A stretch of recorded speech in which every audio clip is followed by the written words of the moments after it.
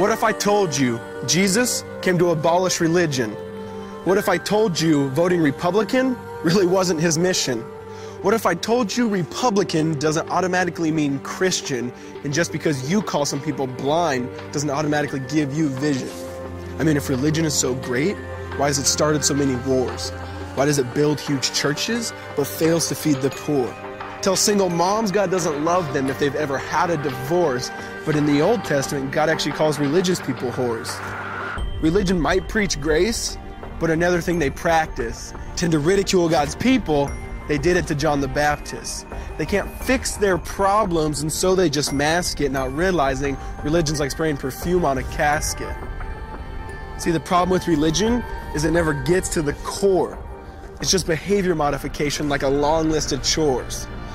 Like, let's dress up the outside, make it look nice and neat. But it's funny, that's what they used to do to mummies while the corpse rots underneath.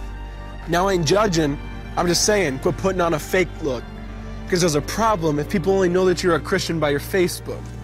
I mean, in every other aspect of life, you know that logic's unworthy. It's like saying you play for the Lakers just because you bought a jersey. See, this was me too, but no one seemed to be on to me. Acting like a church kid while addicted to pornography. See, on Sunday I'd go to church, but Saturday getting faded, acting if I was simply created to just have sex and get wasted. See, I spent my whole life building this facade of neatness, but now that I know Jesus, I boast in my weakness. Because if grace is water, then the church should be an ocean. It's not a museum for good people, it's a hospital for the broken. Which means I don't have to hide my failure, I don't have to hide my sin. Because it doesn't depend on me, it depends on Him. See, because when I was God's enemy, and certainly not a fan, He looked down and said, I want that man.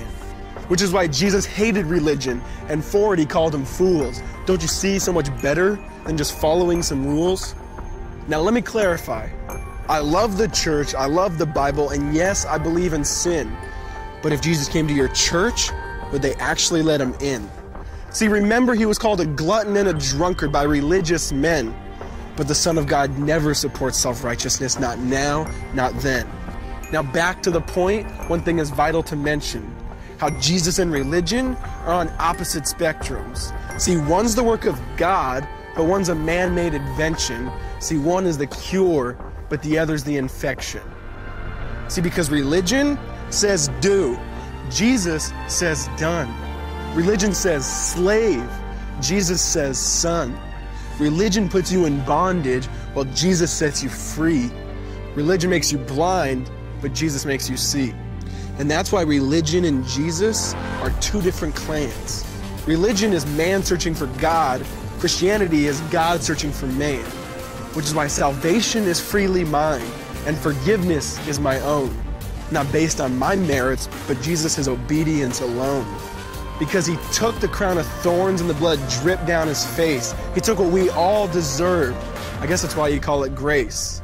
And while being murdered, he yelled, Father, forgive them. They know not what they do. Because when he was dangling on that cross, he was thinking of you. And he absorbed all your sin and he buried it in the tomb, which is why I'm kneeling at the cross saying, Come on, there's room. So for religion, no, I hate it. In fact, I literally resent it. Because when Jesus said, It is finished, I believe he meant it.